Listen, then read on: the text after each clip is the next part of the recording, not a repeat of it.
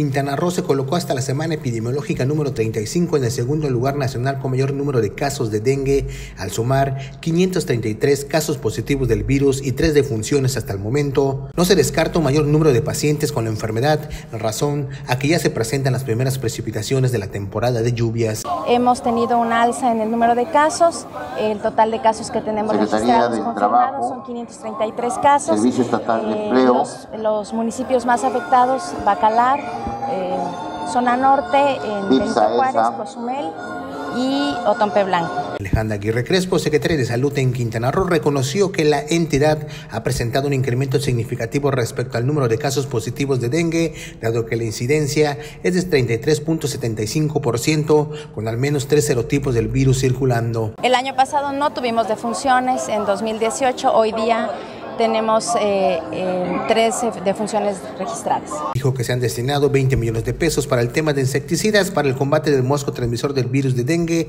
y otras enfermedades transmitidas por vector. Para Notivisión, José Palma.